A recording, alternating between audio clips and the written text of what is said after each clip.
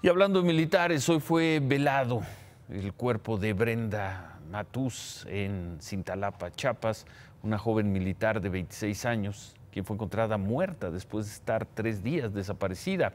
El cuerpo de Brenda se encontró ayer, estaba flotando en la orilla de la presa Chicoacén, cerca de las instalaciones del batallón de, de, infantería donde estaba adscrita. El padre de Brenda tuvo contacto con ella por última vez el viernes ella le avisó que iría a visitarlo a su casa en Cintalapa, pero nunca llegó.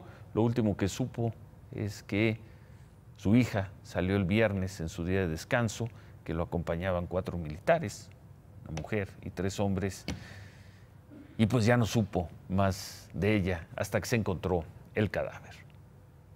Dijeron que se andaban con ella y de ahí que una u otra estaba con un compañero y de ahí que desapareció y hasta ahí es lo que las versiones que nos decían pues. La verdad no fue pues yo creo que no haya, no haya hecho por su propio gusto pero yo pido justicia para los que hayan sido culpables de lo que pasó con mi hija los cuatro militares que salieron con la joven fueron presentados ante el Ministerio Público, pero bueno, no están detenidos. La investigación del caso está a cargo de la Fiscalía de, del Estado de Chiapas y no de la autoridad militar porque los elementos estaban en horas de descanso y los hechos no se dieron dentro de las instalaciones militares.